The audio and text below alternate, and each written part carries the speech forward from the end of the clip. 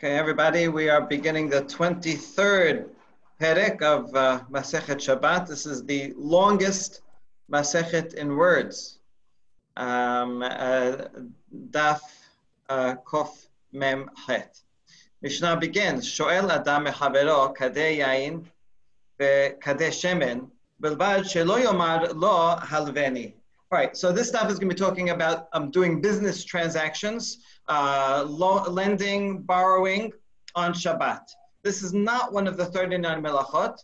Uh, kind of surprising because, you know, when we think about business, that's a lot of what we do uh, as, as merchants, as importers. Uh, but it's not one of the 39. Uh, in, instead, you know, we derive it from Yeshayav, David, Davar, uh, speaking about business, going about one's ways. And the only way it's connected to the 39 melachot is as a gezerah that you may come to write. If you're doing a business transaction, you're going to write a receipt, you're going to uh, write up a bill of sale. And so that's, that is the main problem. And so we see that right here, um, that a person can borrow uh, jugs of wine and jugs of oil for someone else on Shabbat. But it depends on the language. You can say, can I borrow in the, in the sense of uh, but don't say halveni. Halveni is a more official term uh, that implies that you're going to, it's going to be a long-term uh, borrowing and it's, uh, you're going to have to write up some terms. Uh, a woman can borrow bread, loaves of bread from her neighbor.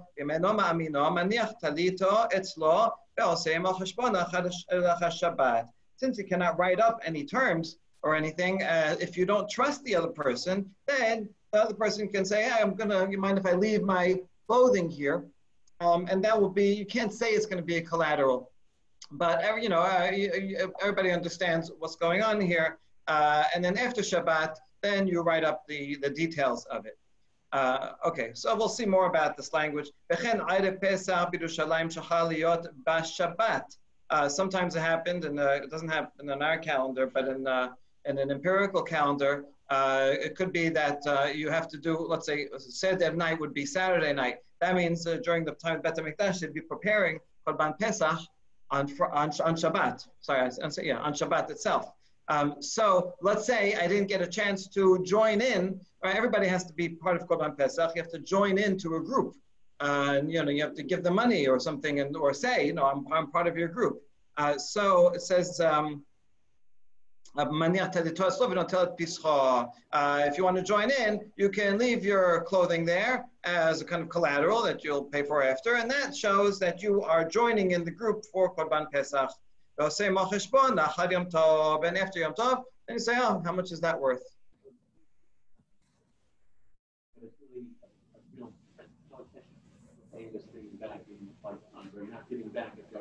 Good. So that's one of the that's one of the differences. What what exactly is it borrowing? Usually, if you're borrowing uh, an item and you uh, I'm not returning the same wine, uh, which is like money in that sense, right? Different from a, a you know a lawnmower where I'm not, I'm not gonna gonna use it and give it back to you. So yes, that could make a difference between the type of loan. Usually, if I'm giving back the same thing, I'm using, use it for a short time, then give it back. Whereas like money, it's for a long time. Pesach, you're not giving back something. Not giving back Korban Pesach, you're giving back money. Bread, right, right. And so they're just they're more more official than uh, than you know, can I borrow that, that knife for a second. Um, okay. It's more of a transaction. Right. Than oh, Ricky, I'm gonna borrow your. Exactly, uh, exactly. It's more of a, right. That's why it makes it more worse, more complicated. Uh, these are things that you uh, may may want to write up. Amale Rab Hanan Abaye. Maishena hashileni What's the difference between these two terms? It's hard to translate this into English because we say borrow and, and uh, loan and this interchangeably. Maybe it's something like, you know, can I use that thing? Uh, you know, that then you're just using it for a short for a short time. Uh, you know, whereas uh, uh lend sounds like it's more official. But in Hebrew, they have these the, the differences. And so Halveni, since it sounds like a longer term, more official, a person will come, may come to write. So don't use that language on Shabbat. Okay. Could it be that yeah. that uh, is coming from like Shoel, like uh, can I ask of you to take? Yes. Yes, right. It's the same. Yeah, shoel is it could be asking for information, and in this case, asking for an item. Mm-hmm. It's more casual. We have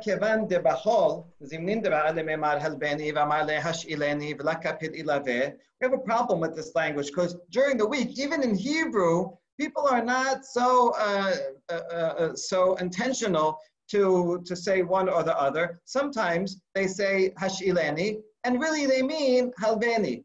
Right? The, the terms are synonymous even in Hebrew. Uh, and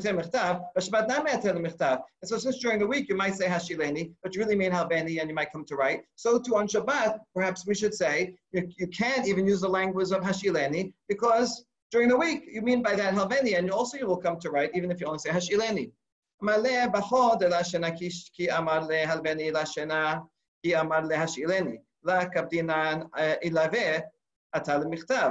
Uh, it's, it's, it's different. The context is different when, when you say it. During the week, since it doesn't matter which one you say, um, and because people don't are not uh, careful with this language, then during the week, even if you say Hashileni, you may come to write. But by Shabbat, everybody knows the laws of Shabbat. כיוון דהשאילני הוא דשארו לרבנן, הבני לה שרו לה, מן קרא מילתה ולא תן מכתב. So the person will recognize, oh, he said he said Hashileni, he was precise in his language because everybody knows that only that's allowed on Shabbat.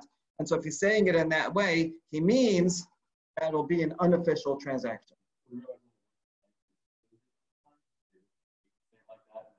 No, I think uh, no. This is they're aware that language means different things in different contexts. Did they just it sounds like there's lost the formality of one one to the other, the differentiation. One other people people speak more formally in some contexts and less formally in other contexts. Years, right, between the Mishnah yeah. and the, uh-huh. right. Yeah. Okay. It could be that the word, the word, uh, the uses of use of wording change, but I don't think it's that. And they're speaking Hebrew. They're also not speaking Hebrew. They're speaking right. Aramaic. Right. Right. Right. Okay. So I we could look at how these these terms are used throughout Mishnah, throughout Talmud Perek, what the Aramaic equivalents are, and then what would the halacha be if you're speaking English, right? And the poskim do talk about that. So there should be some different language, you know, and perhaps it's just some indication that you know, oh Shabbat today, you know, but uh, can I, uh, you know, can I use that hat, uh, something like that. So there should be some some way of distinguishing that uh, you don't mean this as an official transaction. All right. It's uh, too many. Hanan Abaye.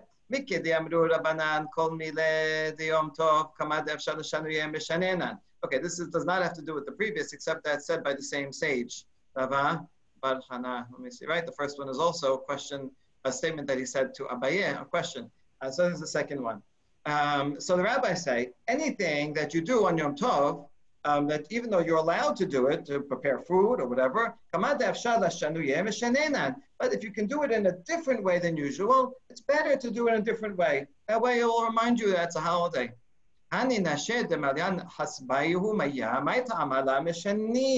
The women who go and draw water from the well, uh, the cistern, why don't they do it in a different way than usual? Um, is, you know, involves carrying and um, perhaps other things. So they, they, should do it in a different way. The answer is Mishum There is no other way to draw water. What do you want them to do? If they usually use a big jug, you want them now to use a small jug? Then they're going to have to be making more trips and walking more. So that's more work. That's not better for Yom Tov. If they usually use a small pitcher and you say, oh, go use a big pitcher, but then it's very heavy for them. Probably they're using a pitcher that's just right for them. It's the least work during the week. So if you do anything different, it's going to be more work for Yom Tov. So that's not good. If you say they should put a cloth on top of the vessel, well, then the cloth is going to get wet, and then they may come to squeeze it out. I like how the Perek, this Perek links to the previous Perek.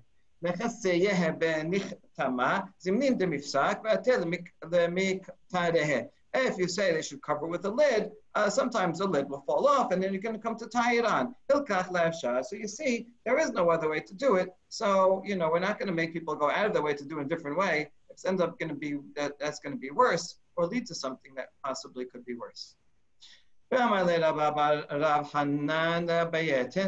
So this is the third statement that these rabbis said, one said to, the other.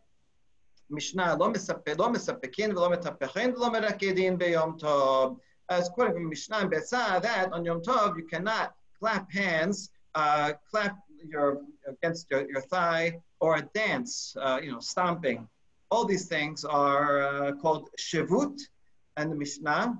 Um, these are and the Mishnah itself, and then uh, in the in the Tannaitic midrashim, they're categorized as deoraita laws. But we'll see here that Bavli recategorizes them as laws that are midrabanan, because uh, you might, if you start dancing or clapping to a beat, you may come to play an instrument. Uh, the original context is probably not playing an instrument, but rather making a lot of noise. And Shabbat should be a quiet time. And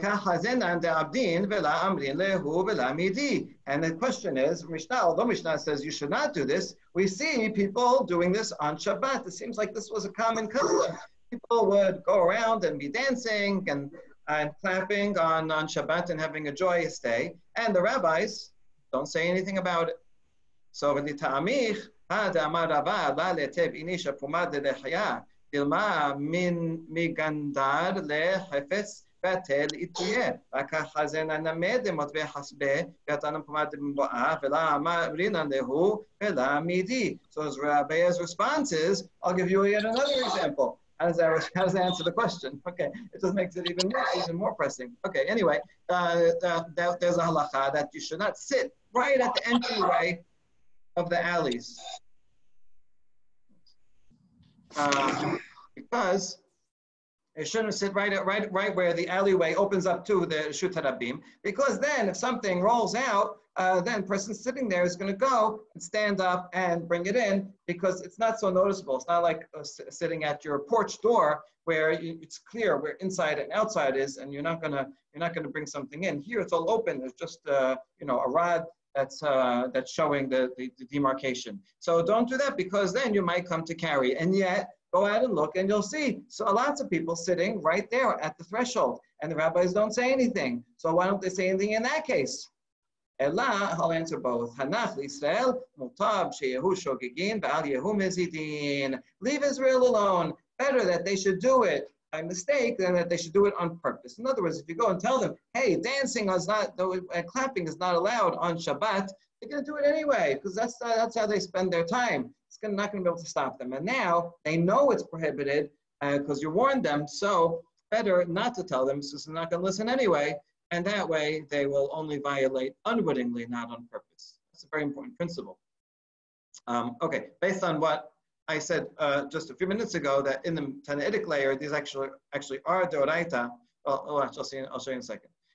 סבור מינה הנמילה בדרבנן, אבל באורייתא לה. Right, we, uh, we at first we assumed that we only applied this principle regarding a law that's midrabanan, but not if it was if it were deoraita. If people are going uh, eating pig, uh, they're murdering people, whatever. You don't say, oh, they're not going to stop anyway. Let them keep doing it, right? It doesn't matter. Even if they're not going to stop, you got to warn them if it's something that's deoraita.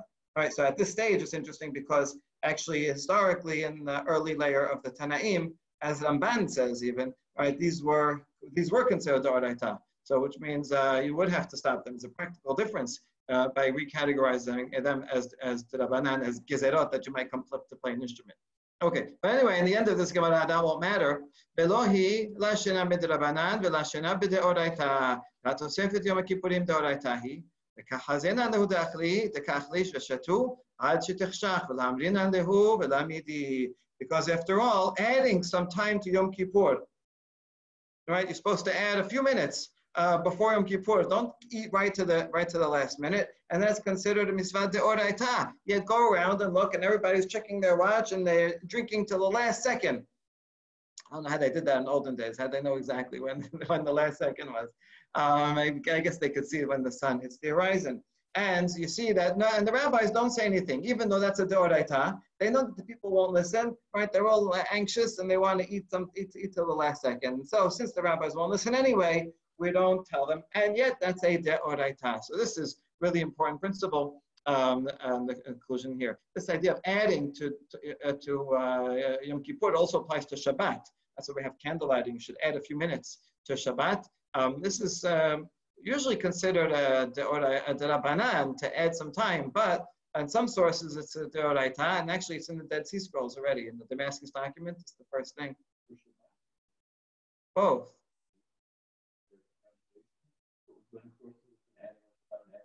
Not sure. Okay. וכן, אישה מחברתה כיכרות. Okay. Also, a woman can borrow, now the next part of the Mishnah, loaves of bread from another. Shabbat hu b'chol shapir dameh. So this implies that you can cannot borrow bread uh, on Shabbat. But that means during the week, you're allowed to borrow bread, and then you return it. This must argue with Hillel. Titnan, וכן היה הלל אומר, לא תלווה אישה כיכר לחברתה עד שתעשינה דמים, שמא יוכרו חטאים וימסו באות לידי רבי. What's the problem of lending bread? Uh, the problem is that bread has a market price. Uh, think of it like gasoline now. You know, if I borrow a, a gallon of gas, and now it's two two dollars. Then next week you come and return a gallon of gas, but it's worth three dollars. Oh, so now I gave you two dollars, I got back three dollars. That's charging interest, right? And uh, and you're not allowed. I'm not, you're not allowed to give it. I'm not allowed to take it.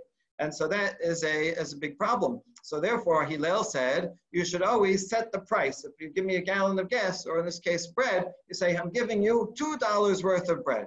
So next week, when when I pay you back, then I'll pay you back two dollars worth of bread, even though that might mean half a loaf next week or pay the money, but it should be the monetary value. Okay, so you see Hillel thinks that you cannot simply loan, lend bread uh, without making the calculation first. And so he contradicts the Mishnah, which says that you can loan lend bread uh, during the week. Uh, we'll reconcile it.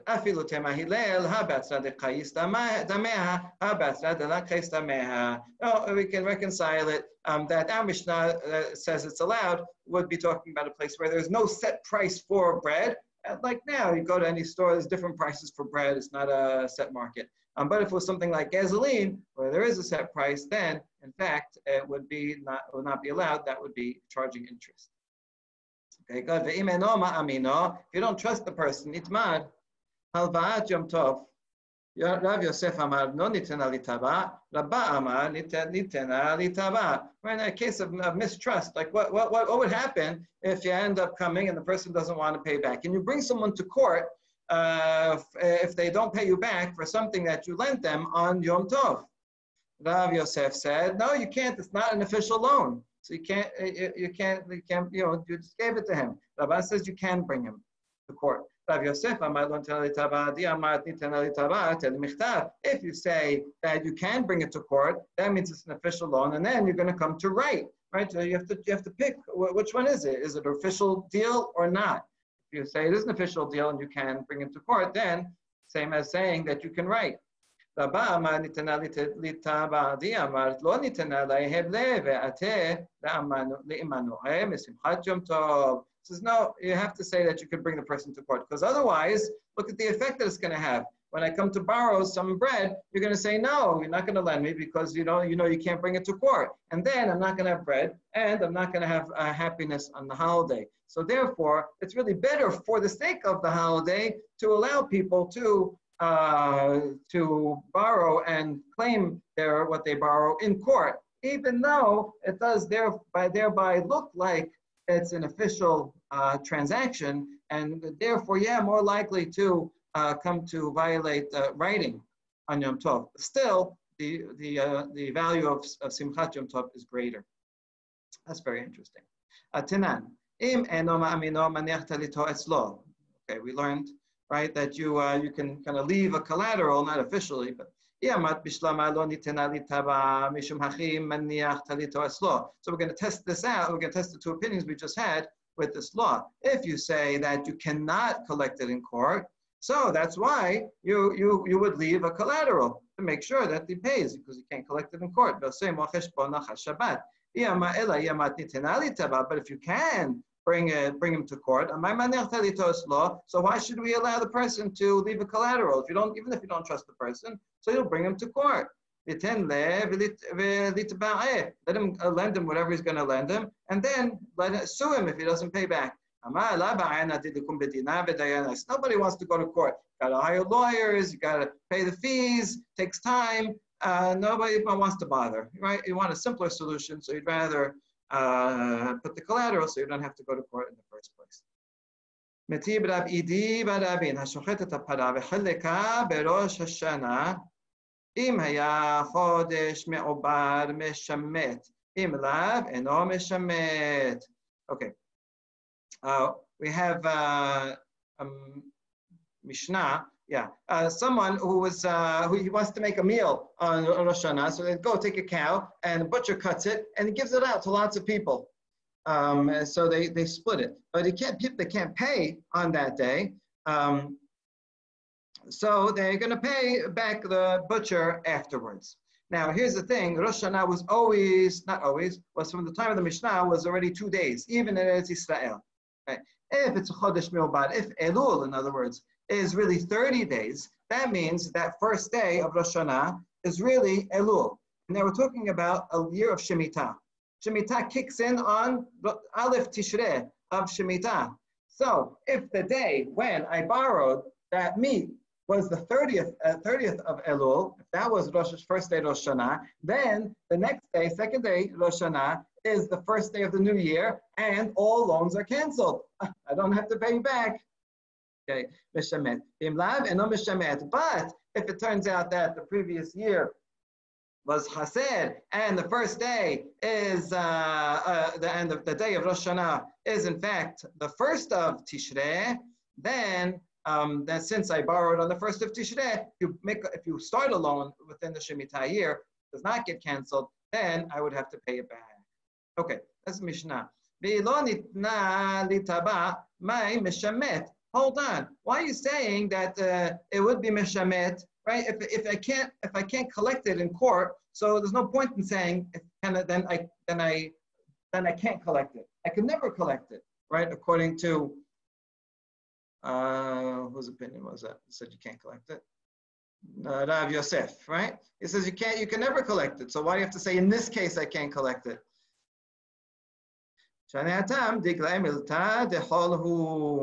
uh, it's different in, the, in that case because, in fact, it was hol. In other words, since that day was not really Rosh Hashanah, so it was a regular day. So a regular day, if I make a loan, it's an official loan. And therefore, I would be able to collect it in court because it's, it's not a Yom Tov, it's not a Yom Tov, it's an official loan. And that's why in that case, you have to say Shemitah comes in and does it.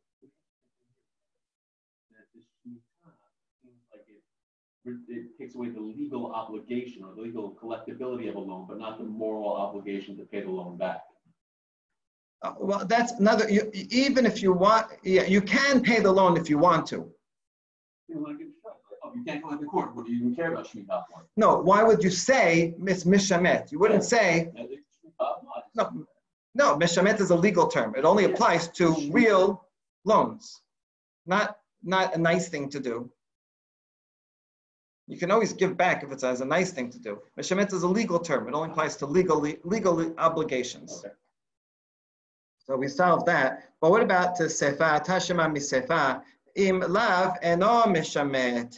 Uh, if not, if in other words, if uh, the first day of Rosh Hashanah is in fact Aleph Tishrei, and so it's past the deadline, uh, then it does not get canceled. If you say that loans uh, can be collected, loans are given on Yom Tov, that's why it makes sense. Since I can collect it, this case, it was after the deadline, so um, it does not cancel. Shemitah does not cancel. Uh, but if you think that it cannot be collected in court, then amai and no. Why do you have to say it doesn't get canceled? There's no official loan here to begin with. Uh, the answer is the yahible shakil. It's just to teach that if you want to, if you want to pay, um, you can take it.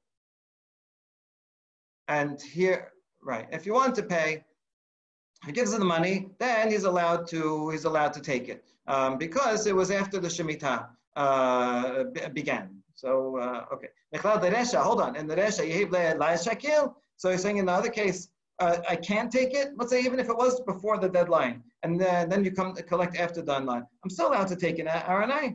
Resha, Sarif Lemamale, Mishamet Ani. Sefala Sarif Lemamale, צריך לממלא משמט עני. The only difference is you have to say משמט עני. כדתנן, I'll read the Mishnah, I don't understand it. מחזיר חוב בשביעית, אמר לו משמט עני.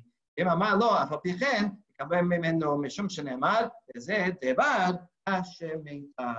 So in general, if I lent you $100 before Rosh Hashanah, and then after Rosh Hashanah you come and say, here, I want to pay you back, I, want, I say I want to pay you back, um, you have to first reject it, right? And uh, and but and say, um, right? Mishamet ani. No, I'm not. I'm not taking it. Right? Uh, I relinquish my claim. If I say no, still, even so, I want to pay back not because I have to, but because I want to. Then you're allowed to accept it.